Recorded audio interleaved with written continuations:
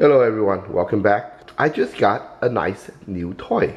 It is a jump starter and what we have here is the NEXPOW jump starter power bank, the G18A model. And I got this because I was so surprised at the price. Typically these things for this much amperage you have to pay over a hundred dollars and this is on sale for 46 dollars so I was very impressed I'm pretty sure this doesn't come with a case as most of them usually do what it is is a very big power pack and power bank that you can use to start your car or in my case is to start my lawnmower which has an old lead acid battery that has irrevocably died. I've tried recharging it, I've tried everything and it just will not start. And this comes from Walmart. Packaged nicely. Let's turn it on. 71%. We have an output, USB, USB, emergency light. The input is a USB-C port and then you have a, a, DC out. Let's take this out and see what else we have underneath. Yeah, as I thought, it did not come with a carrying case. I mean, for this price level, I'm happy to get an instruction manual this is the jump starter cable. And the nice thing about this is you can see it's cut so that the red and the black at no point in time, you're just like holding it connected and dangling, they're not able to touch each other. Burn out your jump starter. We do have a USB cable. So this is just a USB-A to USB-C. And this is your uh, basically your charging cable. This is the jump start port. LED status. You can see the light. Model 18A. Capacity 88 watt hours, 12 volt. Starting current 1500 amps. Peak current 3000 amps. Now you can see that two USB. So the first goes from 5 volt, 3 amps to 12 volt, 1.5 amps.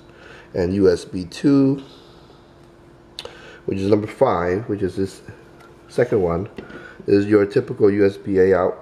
This is your charging port right here. So this is a, a DC out output only. You cannot use that to recharge, but you can recharge this with a USB-C either in your house or, or in the car. Without it being connected, you have right now 72% and it says out. So out is the electricity is ready to be distributed out from the power bank. Once you connect the charging cable, you give it a few seconds and it will switch to in and continue the charging process. Give it a full charge before I do an experimentation. This is my riding lawnmower. I'm going to start it now. The battery shows almost zero charge. I've tried charging it up, but it doesn't matter. Look at this, completely dead. Okay? It doesn't even... There, you can hear a little bit. It's trying to turn over.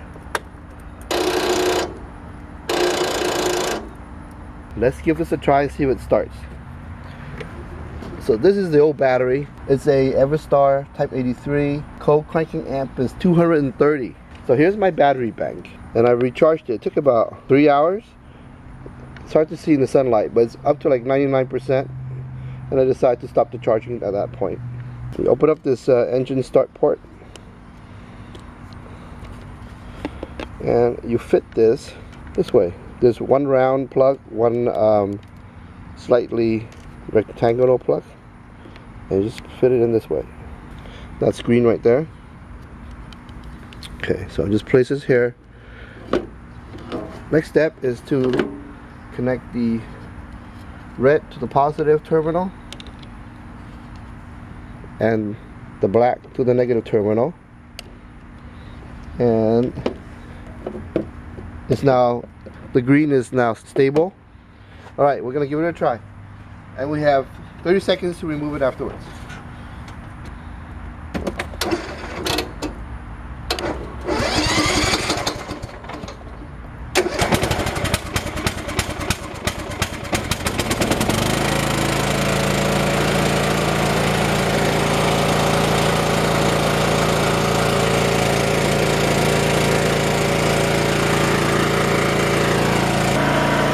still at 99. The cutting grass is done. I was able to use this twice. The one that I started initially, and then once again after I ran out of gas and I had to uh, restart. Starting from 99%, two more jump starts, and it's at 97%. To demonstrate the light, hold down the button, two seconds, you get a light. Press it again, you get a strobe.